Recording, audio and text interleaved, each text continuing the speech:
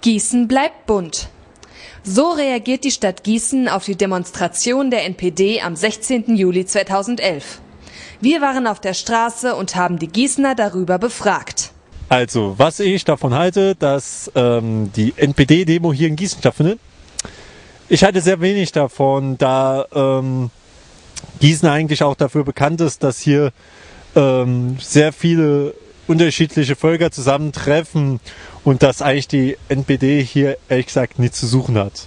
Eine richtig fundierte Meinung habe ich dazu nicht. Ich finde sie, ich denke allgemein wird es eine ablehnende Haltung geben. Ich kann mir nicht vorstellen, dass eine große Mehrheit äh, der Gießener sich für diese politische Einstellung begeistern kann. Ich finde, die NPD hat in Gießen nichts verloren und das wird sie am Samstag auch wahrscheinlich zu spüren bekommen. Es gibt bestimmt viele Gegenaktionen. Ich bin ganz äh, dagegen. Äh, ich finde, die Nazi, sie, sie bringen keinen Frieden zu der Welt, sondern ähm, manchmal sie macht, äh, äh, sie macht große Zerstörung ins, Welt, äh, im Zweiten Weltkrieg.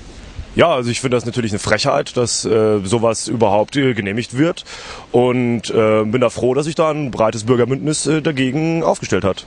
Ich halte die Demo der NPD für höchst überflüssig, weil sie, weil sie zurzeit also nicht zeitgemäß sind. Deren politische Vorstellungen sind unmöglich. Deshalb ähm, finde ich, dass es, äh, wir sollen diese Nazi nicht weiterentwickeln.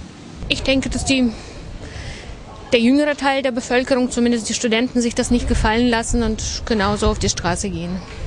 Wie die Bürger darauf reagieren, weiß ich nicht. Ich glaube, viele werden es einfach ignorieren und werden viele an diesem Fest äh, Gießen bleibt bunt teilnehmen und werden sich eher darüber äußern, dass sie nichts, ähm, zur, äh, nichts von der NPD halten. Die werden wohl nicht willkommen geheißen hier. Gerade in der Studentenstadt in Gießen ist das natürlich auch äh, fast ein Selbstverständnis.